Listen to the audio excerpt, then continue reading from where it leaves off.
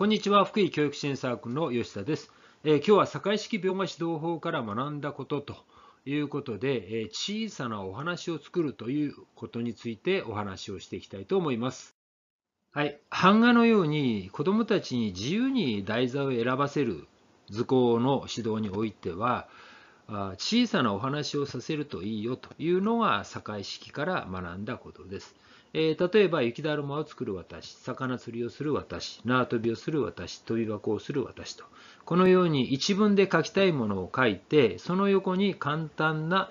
あまあ、絵を描かせるということですね。えー、最後に私がついているというのは、主題は子供自身にした方がいいという、これも堺市から学んだことです。えー、まあ、放っておくと子供って筆箱に書いてあるアニメの絵だとかね、えー、そういうものをそのまま写したがるようになります。でもこれ許しちゃうと、子供の作品じゃなくなるんですよね。えー、もう絵を写すだけになっちゃうので、私は通常私というふうにしておきました。まあ、この小さなメモを作らせることによって、え、私はですね、えー、何をね、子供が書きたいのかがはっきりさせることができるというふうに思いました。というのは、自由にやりなさいっていう時に、パッとね、題材が浮かぶ子もいるんです。でも、なかなかはっきりしない子もいます。そのまま5をかけると、もうその時点でスタートに差が出るんですよね。えですから一旦このようなメモのような形にする。その際、1つを選ぶときには最低3つ程度考えさせなさい。これは堺式以外でもね、全てに通じる指導だと思うんですけども、ナンバーワンを選びたかったら少なくとも3つの候補を挙げなさいという方法ですね。えー、ですから、まあ、私の場合はこれ4つを書きなさいっていうふうに言うんですけども、4つ書けない子がいたらもちろん3つでもいいと。どうしても書けない子は2つでもいいというふうにしていました。それからもう1つ。このようなメモを作らせることで何が書きたいのかっていうイメージが教師側にもよく伝わりますので、この後指導が非常にしやすくなるんですね。指導については後ほど述べたいと思います。えー、ちなみにこの4つなんですけども、これ全然うまくいきません。例えば、魚釣りをする私、雪だるまを作る私、えー、こういう構想を持ってそのまま版画に行くと人が小さくてうまく彫れません。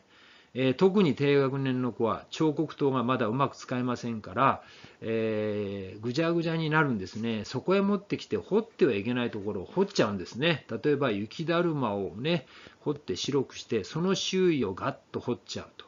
いうようなことが起きます。えー、こういう失敗を実は何回かしました。えー、7時間も8時間もかけてできた作品が最終的に何が何だかわからないと。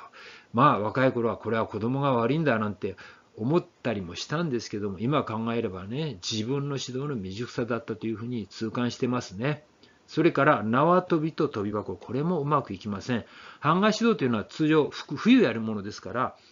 機械運動系をね、えー、版画に従う子結構いるんですよね。で、こういう考え方って伝染していって、跳び箱、縄跳び、鉄棒っていうのがね、すごく多くなるんですが、これはですね、この例えば跳び箱のこの構図、縄跳びの構図、棒のように突っ立ってますよね。で、人の動きがなかなか伝わらないんです。それから両サイドに空き空間がかなり広くできてしまいます。で、ここをどうしようかということで、例えば体育館のフロアを掘らしたりすると、もう中心にある縄跳びだとか跳び箱が薄れちゃって何をしているのかがわからなくなってしまうんですね。それから空き空間を掘るのに膨大な時間を要するというようなことになってしまいます。でこういう失敗をさせないためにはやっぱり構想メモの段階からの指導が必要だということを私はこれを使いながら悟りました。えー、さて、えー、小さな話を作るという指導方法を知ることによって私の指導も随分と変わってきました。まず構想メモを作る段階で指導を入れるということです。えー、例えば先ほど言いましたように細かな下絵ですね、小さな動きの下絵を作っちゃうとどうしても彫りのところで問題が生じてきます。えそれで、え私は上半身、上半身の部分ね、できれば何か持ってるといい、または何かしてるところがいい、それを版画にするといいよというような助言をするようにしました。あそうすると、例えばですよね、魚釣りをする私とか、ピアノを弾く私だとか、リコーダーを吹く私、え習字をする私というふうにして、こういう大きな絵が仕上がってきます。えー、特にですね、魚釣りをする私、これ魚釣りを半眼したがる子多いんですけども、魚を体の正面に持ってきて、例えば針を抜くところを絵にしてごらんというふうにすると大きく描くことができるんですよね。えー、実はこの後もう一つ爪をしました。それはトリミングという方法ですね。こうやって、さらにね、えー、こう画面いっぱいに動きが入るようにしました。こうすることによって無駄な空間がなくなってきて、下絵に動きが出てくるんですね。まあ、動きを出す方法についてはもっと細かなことがいっぱいあるんですけれども、ここでは省きます。そして大きくすることでさらに掘りやすくなるということができます。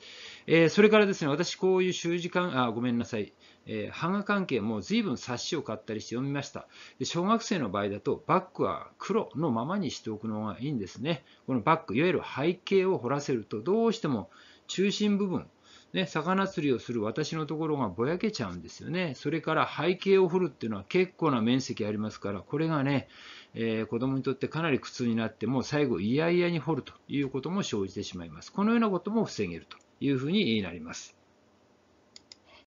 えー、さて、この小さなお話を作るという指導方法ですね。この方法を、版画以外にも様々な場面で私使うようになりました。例えば、お話の絵を描くというのがありますね。えー、私はですね、これ好きな、ね、話を子どもたちに選ばせて書かせてもいいんですけども、こうすると、後の指導が非常に難しくなるんですね。まあ、失敗しちゃう子が結構多くなるということで、例えば一つの、ね、お話を選んで、その中のどの場面か好きな場面を選んで書きなさいというふうな指導をしました。えー、中でも私が好んで選んだ題材がありまして、それはガリバー旅行記。主人公のガリバーを大きく書くことができるんですよね。えー、そうすると伝えたいこともはっきりしてきます。え例えばですね、先ほど言った4つのようにして書かせると、まあ、ここには2つしかないんですけども、一番人気のあるのは、このたくさんの船をね、ガリバーが引っ張って歩いてるところ。もう一つはね、えー、砂浜に打ち上げられて、はっと気がついたら小人にね、囲まれていて、手足が縛り付けられていると。という場面。この2つね、だいぶ人気があるんですよね。これは必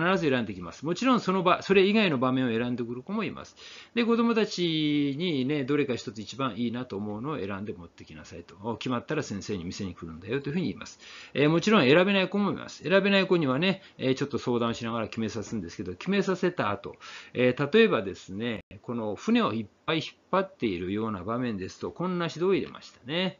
え海の線をね、もう少し高くしよう。そうするとね、お花船の位置をね、変えることができるよと。それからね、陸地を描くことでガリバーがどこに向かっていくか分かるよと。えー、ということで、こう赤い線をこういうふうに入れてあげるんですよね。はい、そうすると、船のね、各範囲が、こう水面、水平からね、えー、こう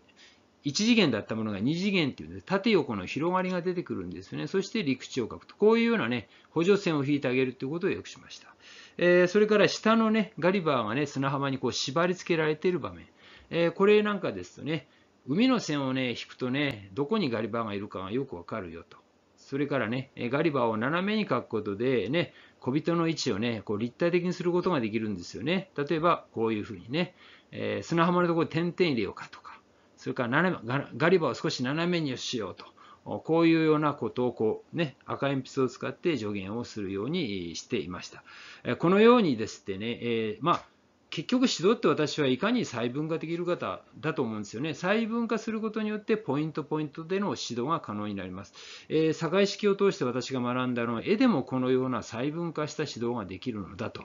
いうことですね。えー、そして細分化することによって教師は何を指導すべきかということがはっきり分かってくるようになりました。そして最大の成果は、もう私の図工に限って言えばほとんどのこの子どもたちがね途中で投げ出すようなことはなくなりました。一つ一つ場面を絞って指導することによって失敗しただとかねもうぐちゃぐちゃになったっていう子がほとんどいなくなるからです、えー、子どもってやっぱりよく自分でやってることが分かってもう失敗しちゃったなっていうと途中で投げ出しちゃうんですよね。えー、それを防ぐことによって一生懸命ね熱心にやってる。子ども自身もねうまく描けてるってことが分かれば最後まで粘り強くやるんですね。7時間8時間あるいは10時間かけて絵を描かせようとなるとそれはね教師側に指導の工夫が必要となります。私は堺式を通して場面を指導の場面を細分化しそして指導することをはっきりと定めその過程でどんどん褒めていって小さな成功体験を積み重ねていくそしてそれ最終的に絵を仕上げるとこういうような手法を学ぶことができましたはい、ご視聴ありがとうございました。先生方の指導力向上のお役に立てば幸いです。